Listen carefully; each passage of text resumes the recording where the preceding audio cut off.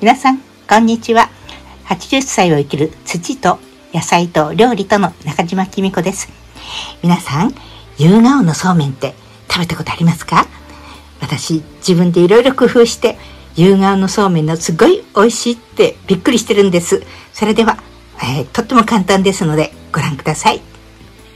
えー、畑からなるべく小ぶりなのを取ってきたつもりですけども、こうしてみると大きいですね。まずこの3分の1くらいを、えー、これから皮を引きます。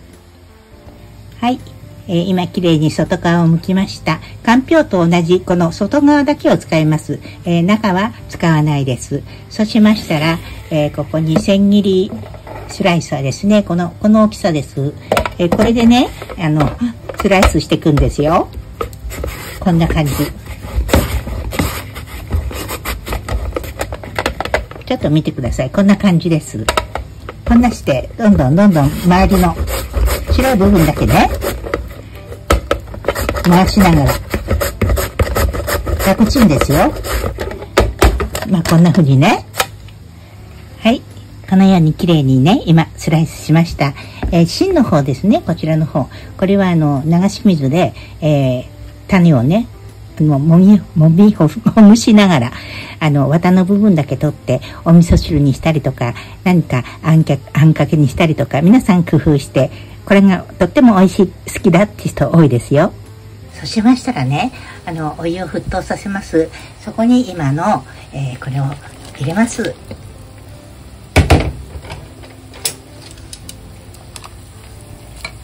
こんな感じでね、えー、そんなに長く茹でなくてもいいと思います12分で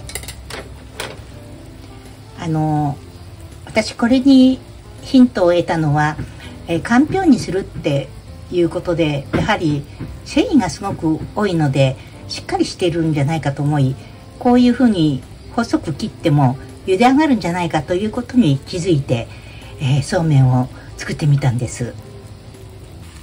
あの一旦入れますと温度が下がって静かになりますがまた、えー、1分ほどするとこのようにグツグツいってきます。そしたら1分くらいでいいかと思います。ちょうどなんかねそば、蕎麦を茹でてるようですね。そんなに長く茹でる必要はないです。はいこれで火を止めたいと思います。という間にね、本当にあっという間ですよ。えー、有能そうめんができました。えー本当に自分でも食べてびっくり驚きました。あまりあの長く茹でない方がいいですね。あのさっとくらいでいいです。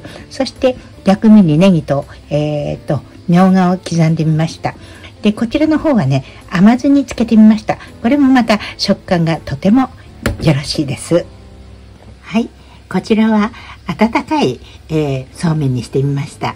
温かい、えー、ところにね、えー、ネギと、え梅干しの果肉を少し乗せて、これもまたとっても美味しいんですよ。